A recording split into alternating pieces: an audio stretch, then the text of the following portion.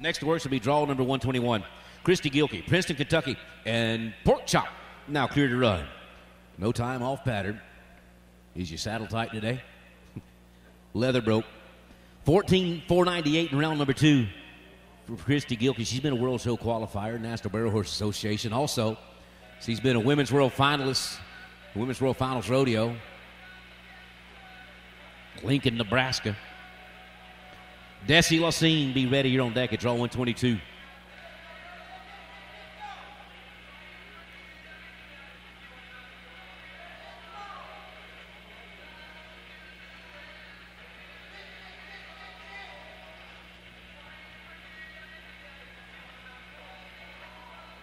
Fourteen nine fifteen and one four nine one five. Christie Gilkey, Princeton, Kentucky, and Pork Chop